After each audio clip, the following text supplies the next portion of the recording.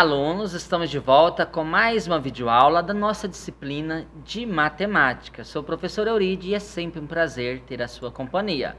Nesse momento, quero chamar a sua atenção para as atividades, né? Para você não deixar para a última hora, não deixar fazer um acúmulo de atividades para ser encaminhada para a instituição. Você vai encaminhar a atividade para o 99251 2247, que é o WhatsApp né, que você já conhece aqui da instituição, tá? Então vamos ao tema de hoje. Hoje em matemática, no seu módulo 3, nosso tema é gráficos, parte 3. Então, na aula de hoje, nós vamos fazer as correções das atividades que foram solicitadas nas aulas anteriores a respeito de gráficos. Então, correção das páginas 138, 139, 140 e 141 no seu módulo 3. Então, vamos lá. O gráfico de barras duplas a seguir apresenta a quantidade de meninos e meninas matriculados em turmas do primeiro ao quinto ano em 2019 em uma certa escola.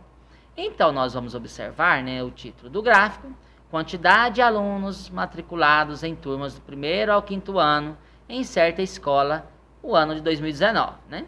Então, acima nós vamos ter quantidade de matrícula, né? Que é essa parte aí vertical, que vai de 0 até o 40.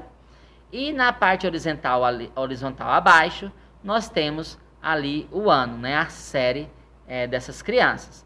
Então, por exemplo, no primeiro ano, nós temos a quantidade de 26 meninas, que é a cor mais rosa, e 20 meninos.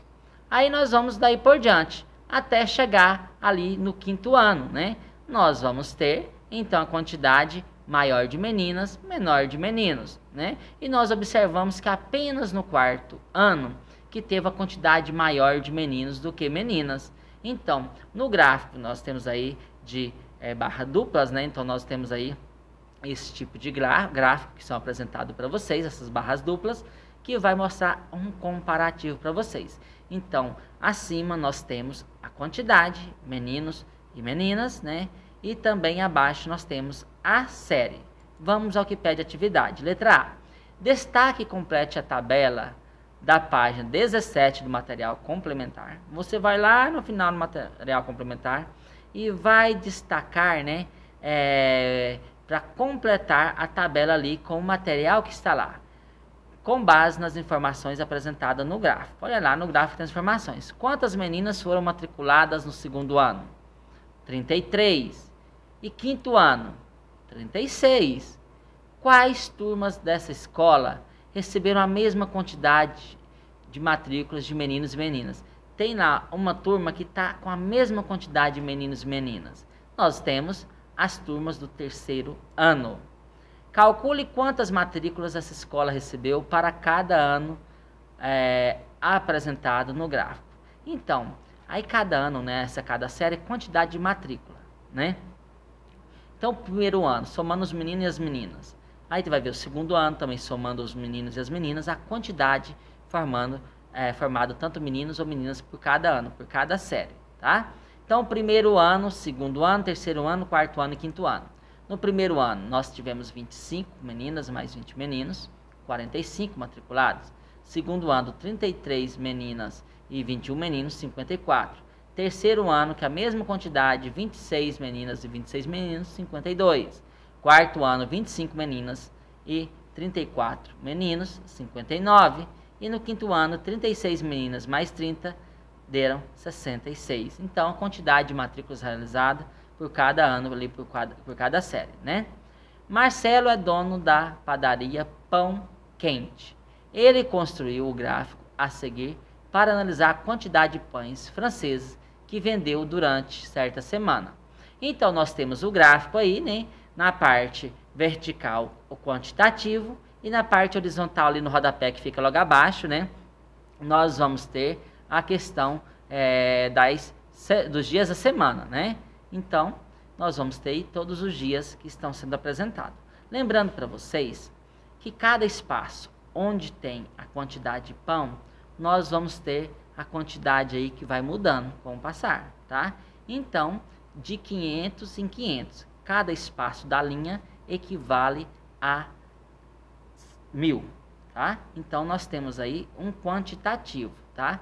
Esse quantitativo vai mostrar para vocês, só fazendo uma correção aqui, meninos, que não faz referente a mil, não, tá? Faz um quantitativo que vai ser de 100. Então, de 0 a, o espaço 0 a 100, nós vamos ter 100. Então, esse espaço é 50, tá? Não 500. Cada linha, então, equivale a 100 pães vendidos. Cada pão representa aí nesse gráfico, né? Que nós chamamos de gráfico pictórico, estão lembrados que eu falei no vídeo aula? Então, cada espaço de 0 a 100, nós temos 100 pães. Dois pães, cada um representa 50 pães. E com mais outro que representa 50, vai dar 100. E na sequência de 100 a 200, nós vamos ter aí também mais 100. Né? Então, de 0 a 100 nós temos 100, depois aumentou mais 100, foi 200 e daí por diante, tá? E lembrando que quando tem, igual vocês estão vendo aí nessa primeira barra aí que eu trouxe para vocês parte do gráfico, tem aí a primeira parte aí, né, da segunda-feira, que acima só tem um pão dentro de uma linha, significa que é 50. Então, nós temos aí 850 pães, tá bom? Já que dentro de cada linha representa 100, certinho? Então, vamos lá. Destaque e complete a tabela da figura 17 do material complementar com base nas informações apresentadas no gráfico analise o pictograma acima e a tabela que você completou e escreva um texto com suas conclusões. É uma resposta pessoal, meninos. Então você vai analisar, fazer uma análise né, do gráfico pictórico e vai fazer um texto com suas análises. Pode falar do dia da semana que mais vendeu pães, o dia da semana que menos vendeu. Você vai criar um texto de acordo com as informações que lá tem, tá? Outro gráfico bastante utilizado é o gráfico de setores, né? Esse gráfico de setores é também conhecido como gráfico de pizza, né? Porque ele é circular, né? Ele, ele vai lembrar uma pizza. Nele as informações são representadas por fatias que são os setores. Observe abaixo um exemplo. Então, cada fatia significa um setor. Então, despesas mensais de certa família, de cada item aí representa um tipo de despesa. Olha só, nós temos verde alimentação, azul claro aluguel, rosa educação, nós temos o roxo ali é, lazer, o laranjado nós temos saúde, é, azul transporte e amarelo tem outros, né? Então vamos lá. Qual é a maior despesa dessa família? A maior despesa dessa família é com aluguel. Você pode olhar lá na cor que está do aluguel, você vai ver a fatia maior, a porcentagem ali, vamos dizer assim, né? a fração ali é maior. A fração 20 centésimo corresponde a qual despesa familiar? Qual que representa? A alimentação. Você vai ver que lá está 20 centésimo conforme a cor da alimentação. Quais despesas correspondem à mesma parte do total gasto no mês?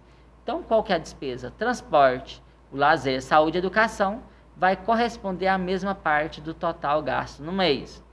Em sua opinião, quais despesas estariam incluídas em outros? Quando fala lá em outros, né, tem uma cor lá só para outra. Outros, quais são as despesas que poderiam ser incluídas ali? Tem outras despesas, particular da pessoa, aquela que às vezes comprar um presente para alguém, e etc., né, que pode ser é, incluído. Então, na sua opinião, o que, que pode ser esses outros? Né? Qualquer uma outra despesa que a pessoa pode ter, tá? A professora de... A professora, aliás, fez uma pesquisa para saber a quantidade de irmãos dos alunos do quarto ano. Observe as informações obtidas. Meninos, cada risquinho desse aí significa a quantidade de alunos que têm irmãos ou que não têm. Olha aí, que não tem nenhum irmão. Três alunos, porque são três riscos, não é? Não tem nenhum irmão. Quantos alunos nesse quarto ano têm um irmão? Então, nesses riscos que nós temos aí, fechado, temos cinco, mais um, seis. Seis alunos, cada um tem um irmão. Aí nós temos quatro alunos na sala do quarto ano, que cada um deles tem dois irmãos. E na sequência, quantos alunos no quarto ano tem três irmãos? Apenas dois alunos têm três irmãos.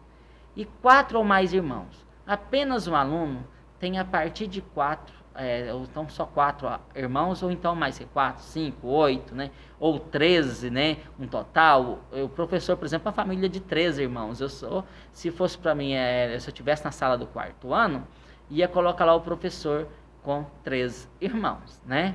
Então, é, de acordo com a quantidade de alunos na sala e a quantidade de irmãos que eles têm, tá?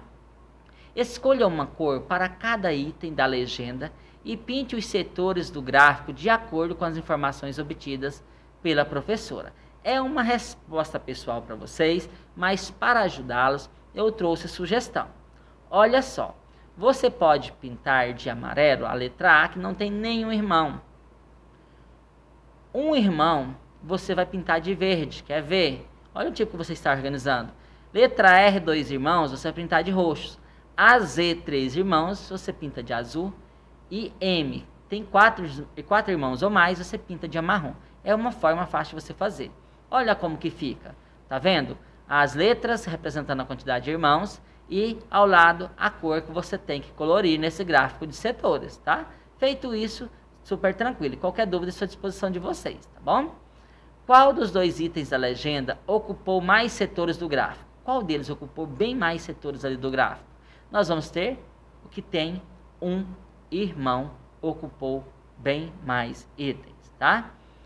Se você tivesse é, fizesse parte dessa pesquisa, sua resposta estaria incluída em qual dos setores? Nos setores que tem só um irmão, que tem dois irmãos, que tem quatro ou que tem mais de quatro irmãos. Qual que seria esse setor que você estaria incluído? Então, essa foi mais uma videoaula de correção das nossas atividades de matemática da última aula. Agradeço a você pela companhia. Um forte abraço, até a próxima. Tchau, tchau para vocês.